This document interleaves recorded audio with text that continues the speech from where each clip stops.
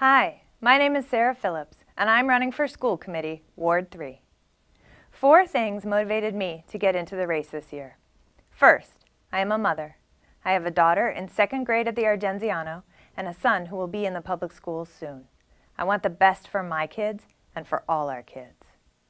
Second, I am an activist. My mother helped start one of the oldest women's centers in the country, and some of my earliest memories involve skating away for the ERA, the Equal Rights Amendment, and marching to take back the night. My mother taught me to see injustice and to fight for my values, and I learned to organize through summer internships with ACORN and AFSCME. Here in Somerville, I helped stop a charter school in 2012. I helped get preschool classrooms in many of our elementary schools. I was a member of the city's Child and Youth Study Team, and most recently, I led a campaign to get my son's daycare reopened when the state unfairly shut it down. To me, serving on the school committee is an extension of this work. Third, while getting a PhD in social policy, I won a fellowship from Harvard to work in state government at the Executive Office of Education. I was shocked to learn that no one on the policy team believed teachers needed unions. When I was a teacher, I had 37 students in my seventh grade class. I know that school administrators often make decisions that are in the best interest of the system, not our kids. I want policymakers who understand that teachers' unions are part of the solution, not the problem. Lastly, I'm motivated to run for school committee because this is the work I do professionally. Like most of our current school committee members, I have direct classroom experience.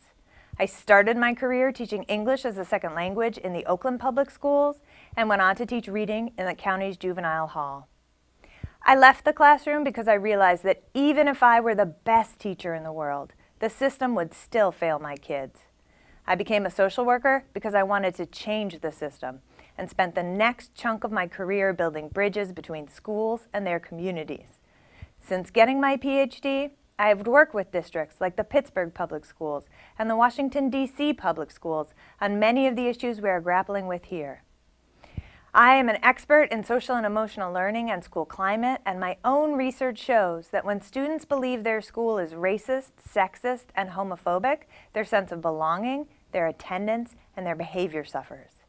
If elected, I would be the only social worker on the school committee, and I am honored to be endorsed by the National Association of Social Workers Political Action Committee in addition to the Massachusetts Women's Political Caucus. Don't get me wrong, I think our schools are moving in the right direction. The past two budgets have made investments in many of the right things, and I am excited by the equity policy our next school, school committee will pass. But there is still more work to be done. First, we say we want to prepare all students for rigorous course taking in high school, but we're not giving our K-8 teachers the resources they need to meet the academic needs of our diverse student body. I want to see us hire more push-in teachers or other adults to work with small groups of students in the classroom. Second, we know that children can't learn when they're hungry, when they're afraid of getting evicted or deported. I want us to wrap social services around every family that needs them, not just families with children 0 to 5. Third, we know that wealthy families are investing tons of their resources in enrichment activities for their kids, and that this investment is exacerbating socioeconomic achievement gaps. I want to see us work with the city to develop a high quality, accessible, affordable, out of school time system. Fourth, like everywhere around the country, Somerville has seen a rise in incidents of intolerance. Just this past year, white kids at the high school planned a Make Prom Great event. Fifth graders at the Kennedy had a Kick a Jew Day. If we truly value diversity, then we need to put a stop to this. If elected, I would fight for a restorative justice program at the high school and a community building and anti-bias curriculum K-12.